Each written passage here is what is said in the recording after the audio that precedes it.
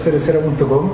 Estamos acá en el lanzamiento de una cerveza muy especial que se llama Carpe Diem, eh, que es un Bragot y a la vez también Crepeil, que yo entiendo.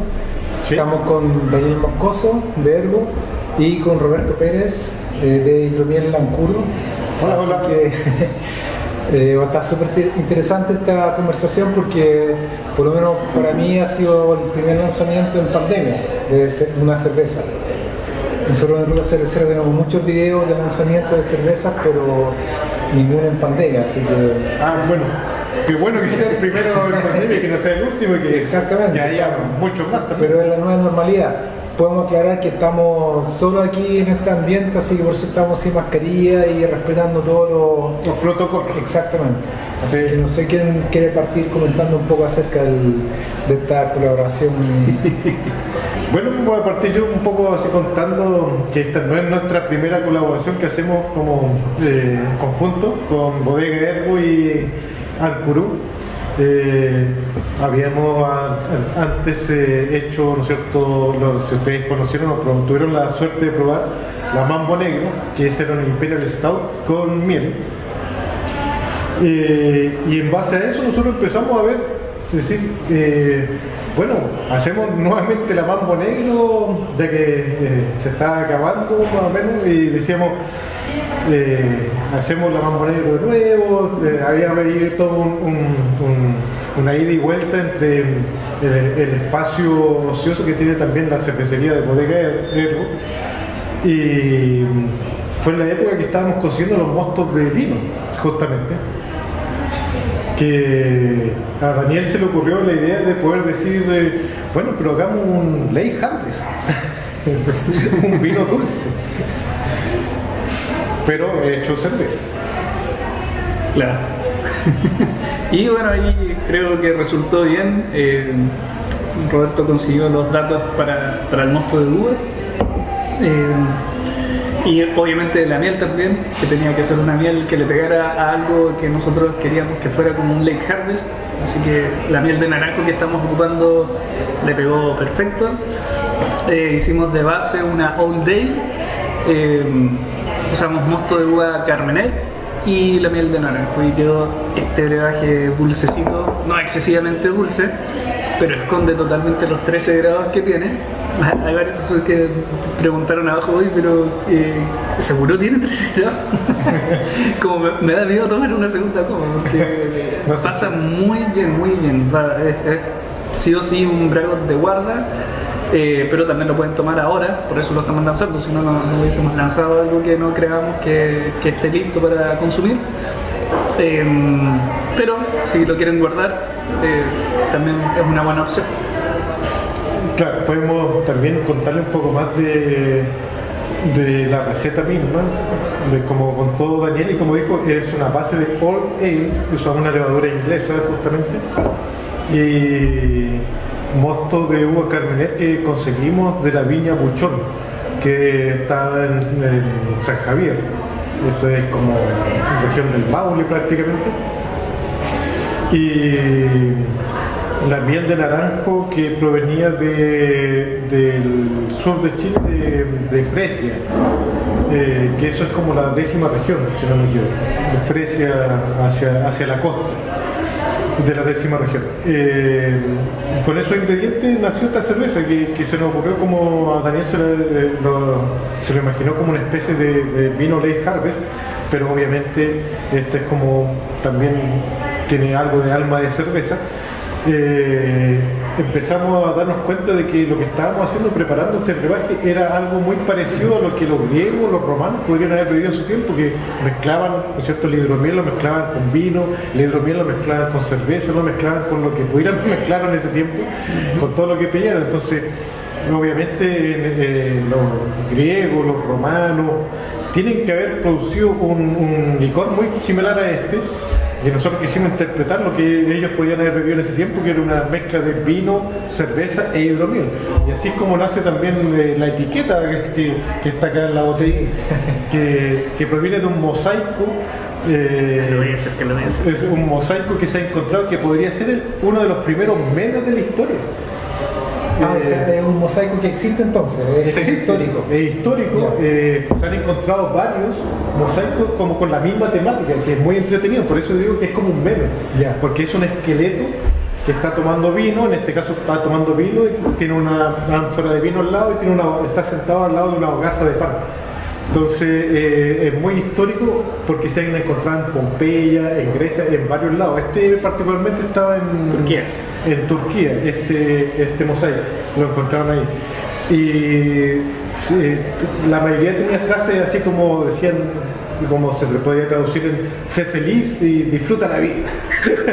Entonces, Los primeros bro. nosotros dijimos, pega perfecto. Y por Sí. eso el nombre también, Carpe Diem, hay que disfrutar la vida. eh, Claro. Y un mensaje muy importante en estos momentos de pandemia es que realmente estamos tan encerrados, qué sé yo. Igual ya se está viendo que, se está liberando un poco el tema, menos mal, vamos, vamos bien. Eh, pero con o sin pandemia, igual siempre hay que disfrutar la vida. Pero, pero igual, bueno, se ve como una tendencia en general del tema de la pandemia que no sé si vamos probablemente a pasar un tiempo, no sé, pues en fase 1, fase 2, fase 3, después quizá volver a fase 2, fase 1. Así que va a ser como bien sabe. claro. Sí. No sé si eso de alguna forma le ha impactado a usted en general en- como pandemia o si han podido seguir, no sé, pues, produciendo cerveza o lo que sea, digamos, hidromiel. Claro, Normalmente o han tenido que, no sé, de repente en vez de sacar cerveza, no sé, en, barril, sacarla en botella. Claro, para hablar un poco cortamente, porque a lo mejor Daniel ahí se puede explayar un poco más, porque él eh, produce muchos más litros, yo produzco 60 litros de hidromiel, pero en el caso mío fue súper bueno este tema de la pandemia porque vendí mucho. O sea, la gente estaba encerrada y quería probar cosas nuevas. Eh, algunos empezó a conocer hidromiel, empezaron a pedir, eh, se tomó mucho hidromiel, yo vendí mucho más que antes de la pandemia, vendí mucho más, yo creo que el triple a lo mejor de lo que vendía antes. Entonces fue para mí, eh, personalmente, fue muy bueno el tema de la pandemia, porque se conoció un poco más el tema también del hidromiel. Pero yo he escuchado de cervecerías que eh, ha sido como una montaña rusa, algunas que le ido muy bien, otras que le ido muy mal, otras que han cerrado, otras que se han hecho millonarios, ha sido como bastante eh, ecléptico en ese sentido del, mundo de la cervecería. Eh, en el caso mío, como vuelvo a re- reiterar, eh, ha sido muy bueno, se conoció mucho el hidromiel y he vendido un montón. Ah, En mi caso no, no son tan buenas noticias, porque igual los modelos de negocio que tenía que tiene el mío, el mío es mucho más de los bares, de, de vender en barril. Entonces si los bares están cerrados, no, no se vende mucho. Eh, menos mal que igual ya tenía eh, planeado sacar botellas, y sí o sí botellas especiales como esta, entre otras. Eh, entonces no, no estaba completamente en cero como tal vez otros, eh, pero igual me faltaba un empujón para partir a vender más, más botellas. Y justo también se dio eh, de que ya tenía que sacar desde el año pasado varias cervezas que tenían barrica hace tiempo. Entonces eh, empecé a sacarlas. Sigue siendo insuficiente eh, para el negocio, pero lo bueno es que sí hay más gente que está metida, por ejemplo, en, en la red, les interesa conocer un poco más de ya sea cervezas o hidromieles o las mezclas que hacemos con Roberto. Eh, tienen los tiempos y, tienen el espacio para estar probando. Eso ha sido súper bueno. También eh, me he preocupado más en sacar eh, distintos diseños de etiquetas, por ejemplo. Eso igual ha sido positivo para no ver tantas cosas negativas dentro de toda esta pandemia. Eh, pero ahí poniéndole, eh, dándole fuerte y ojalá que ya se termine esto de la pandemia maldita. Sí, yo igual creo que es interesante el fenómeno, como tú mencionaste, al parecer como a algunos le, le- ha beneficiado, otros le ha perjudicado, pero también está la tendencia al tema de las latas, por ejemplo, que están como que se aceleró mucho el tema de las latas. Y por ejemplo, yo personalmente el tema, por ejemplo, no sé, Ergo, que sigue con, con botella, yo nunca he visto una, una cerveza de Ergo en lata. Yo personalmente lo, me parece bien, algo positivo, porque para mí una botella, o sea, creo que lo que va a pasar en el futuro es que cerveza como, quizás como más entre comillas, como más especial, más compleja quizá, va a ser como botella y lata quizá va a ser como algo más masivo, no sé. Eh, aunque probablemente igual la cervecería van a jugar un poco con el formato y cuento. Pero, pero en general, claro, yo creo que la pandemia trae, trajo sus cosas negativas, pero también algunas cosas positivas, como el tema de la lata, que igual es un formato quizás más conveniente para alguna cervecería. Sí, justamente, yo, como tú lo dices, sí, pues, hay, hay, hay cervezas especiales, hidromieles especiales.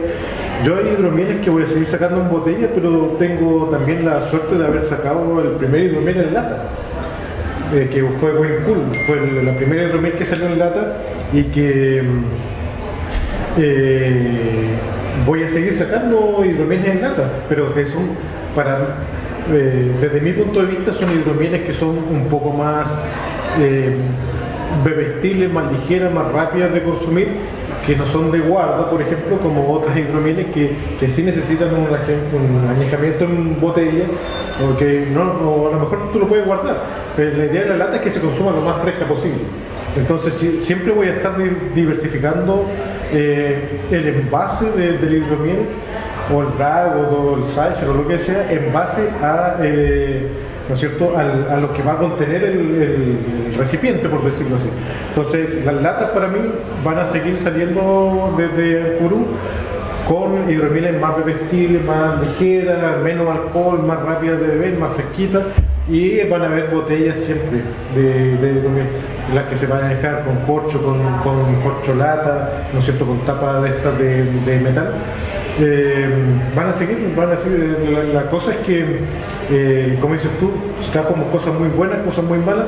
Yo creo que eh, apuró el tema de la salida de la lata de muchas cervecerías, que es muy bueno lo encuentro, porque se mantiene más fresca la cerveza pero también los cerveceros, los cerveceros o hidromelieros tienen que aprender a, identificar qué cosas van a meter en qué formato. Yo creo que eso es lo que, nos falta un poquito haciendo como por, por crecer como industria. Pero se va a ir dando con el tiempo en todo caso. O sea, ojalá que todos sigamos la tendencia de la lata, pero que no perdamos el foco de la botella también para cuando se sea requerido.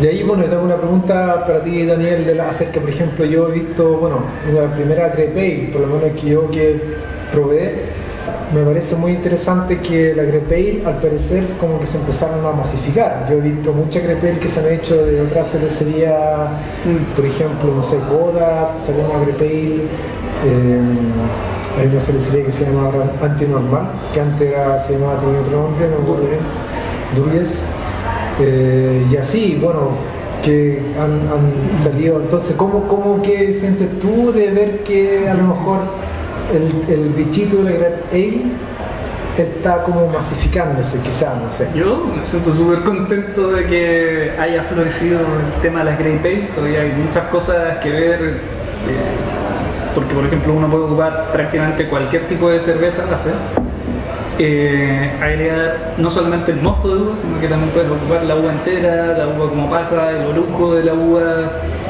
y en distintas partes del proceso. Entonces, todavía hay mucho que descubrir ahí, también ver qué combinaciones quedan bien y cuáles no valen la pena de jugar, de experimentar con eso. Em, pero ha sido muy bueno, como dijiste, hay varias cervecerías que eh, están eh, empezando a hacer Great Ales. Por ejemplo, este año Perro Negro, allá de Concepción, también ya sacó dos. Eh, Coda, como decías tú, el Fucking Project también hizo una cerveza con sí, uva. Sí, me faltó eh, hasta pronto sigue haciendo hasta pronto con, colaborativas, por ejemplo con Intrínseca, también con Tercer Ciclo, que es el ex Knockout Em, así que eso está súper entretenido, súper bueno encuentro yo. Mogua también está haciendo Grey Pains. Roberto, Roberto también, pero es que no bueno, esta, esta, se supone que también es Pains, ¿no? Sí, pero, Sería como una. Pero vienen, dos, vienen, ah, vienen dos en camino que son Grey Pains. Uno que es una tripel con base, eh, perdón, base tripel y con Sauvignon Blanc. Y la otra es una brown con Cabernet Sauvignon. Así que también yo apoyo, apoyo absolutamente el hecho de que acá en Chile debería crecer mucho más el, el- la Grepel, porque hay mucho vínculo con el mundo del vino. Sí. pero no quería interrumpir a... No, no, está bien, está bien, sí, eh, eh, es justamente eso. Ahí ya se tiró la sorpresita de Ampuru, que, que se dieron Claro. ahí esa, esa cerveza. Yo no quería decir nada porque no sabía así qué tan secreto era. No, se Pero- vienen, pero se vienen bueno. en, en las próximas semanas se vienen muchas novedades, se vienen cinco, cinco experimentos. Sí, esos son los que nos gustan acá en Ruta Cervecera y bueno, y si podemos meter ahí la primicia. Sí, sí, mejor. absolutamente. absolutamente ya, claro. Solo estoy esperando la etiqueta. Así que apenas esté la etiqueta ahí nos ponemos en contacto y podemos hacer un lanzamiento. Quiero hablar también a ver si se puede hacer un lanzamiento en algún local, sea este u otro, porque la idea, si bien este, este tema de, de- de la pandemia ha sido muy heavy, ¿no es cierto?, para todos los consumidores y para, sobre todo para los locatarios, yo creo que hay que empezar ya a perder el miedo de, este tema. Vemos mucho que ya estamos vacunados, que, que tiene que empezar a volver un poco la normalidad. De hecho, eh, eh, el día de mañana o hoy día en la madrugada, eh, no sé cómo decirlo, pero eh, ya de mañana cambian las reglas del juego. O sea, ya va este, este espacio de acá va a estar lleno mañana. ¿Cuál, ¿Cuál es el cambio ahí? ahí No se puede tener gente dentro del local que estén con la, Pasamos con la día jueves, día, eh, fa- fase 3, ¿no es así? O... Para las personas que tienen las dos vacunas pueden estar acá adentro de los locales. ¿No es cierto? Los que no van a tener que estar afuera de los locales. Eh, pero eso significa que ya va a haber más aforo dentro de los locales, o sea, va, va a haber mayor consumo, vamos a poder disfrutar también los consumidores, entonces eh, la idea es que podamos hacer eh, todos estos lanzamientos ahora que se vienen toda esta ola de aperturas de locales, de- que, la gente va a poder salir a disfrutar y a probar también todos estos, estos manjares. Sí, pues. No, no, sí está, está- no, por supuesto, o sea, igual yo creo que es como súper interesante el, experimento de haber pasado, no sé, por este año y medio, supongamos, claro, como tú dices, vamos a volver a como la reapertura. Y todo lo que pasó en este tiempo, por lo que he visto yo, por un lado, claro, está todo el tema de las latas y también de alguna forma, creo yo, de lo que he visto, el, gusto de los consumidores, igual como se ha ido como refinando un poco más, con todas las cervezas que se han lanzado, con todos los tiros que hay, cosas nuevas que hay, de repente igual es un consumidor quizás distinto al que había, no sé, por un año y medio atrás. No es lo mismo la cerveza quizás que, que se consumía un año y medio atrás que ahora. También a lo mejor porque la gente ha tenido quizás Puede ser, eh, como una especulación, eh, quizás más recursos para gastar en quizás cerveza un poco más especializada, ¿cachai? Como con más Pero es que obvio, no sé, por Sí, que- ya, no, ya quizás no toman las mismas cervezas de antes. Es que obvio, porque ponte a pensar que si tú vas a un local como este o como cualquier otro, vas y tomas un par de, de tragos, comes algo, pagas la cuenta, no va a ser lo mismo que tú gastas si compras esa misma plata en cerveza y la consumes en tu casa. Va a consumir el doble o el triple por ese mismo dinero, si es verdad. si- lo que pasa es que uno paga por la comodidad y el disfrute de salir, ¿no es cierto? Pero si tú consumes ese dinero en la casa vas a consumir mucho más de lo que en, cerveza, me refiero, eh, de lo que estás pagando en el local. Entonces eso es lo que pasó, que la gente empezó, dijo, pucha, ya, yo no sé, puedo decir cualquier cosa, me gastaba mensualmente 60 mil pesos en una salida a un bar y se dio cuenta que dijo, ya, compré 30 lucas de cerveza y eran muchas cervezas. po". Claro, ¿Cachai? Entonces por la mitad de la plata compré muchas cervezas, entonces después compré cervezas mucho más eh, y, más- y, y a lo mejor más especializada. Eso es más que- especializadas. que A lo mejor Además gente que que- en, el- en el mismo tiempo de la pandemia se siguieron haciendo como catas online, en las cuales que la gente también podía participar, comprarse también bueno, cerveza especializada y probarla en su casa. Claro, gente, la gente tuvo más, más como plata para probar cosas distintas que a lo mejor no hubiera, no hubiera probado antes. Para eso en el fondo Y aparte yo creo que hay otro factor igual, cuando uno va a un bar, eh, con más gente, es como para ver a los, a los demás, o a los amigos. Yo creo que ahí lo que estás tomando pasa un poco más a segundo plano, que ahí puede ser, incluso puede ser cualquier cerveza o jugo. Claro, que Pero- antes cervezas comerciales. Eh, pero si estás en la casa, si vas a tomar como por tomar, mejor eh, tomar algo que, que- que sea interesante, algo nuevo, eh, algo que uno puede decir como, ah, esto es una exquisitez, no lo voy a comprar todos los días, pero bueno, estoy aquí en mi casa solo, eh, en vez de tomarme tres de la otra cerveza, me tomo una especial y, ahí lo puedes hacer. Aparte que también están haciendo varias cervecerías, lives, eh, con los lanzamientos de, de las mismas cervezas, eh, que ahí uno entiende más qué es lo que hay atrás de eso y están, no sé, 50 personas conectadas, que no, antes no podían haber 50 personas en el bar interesados en ese lanzamiento y menos si es que unos son de Punta otros de La Serena, otros de Santiago, de, de la quinta región, etcétera.